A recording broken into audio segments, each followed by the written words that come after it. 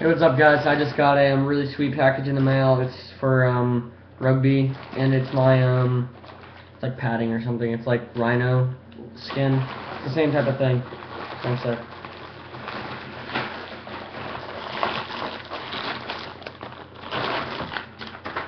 Yeah, it looks really sweet.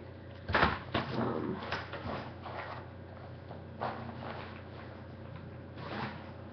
sorry, big long.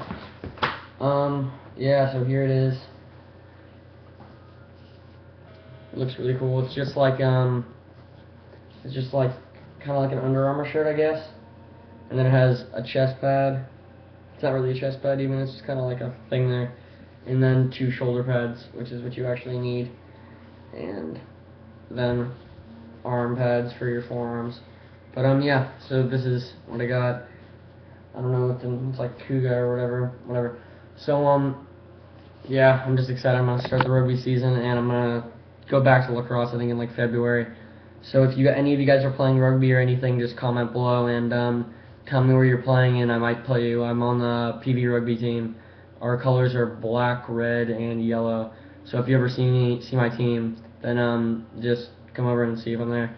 And I'll probably see you after the game if I play you. So thanks, guy. Bye.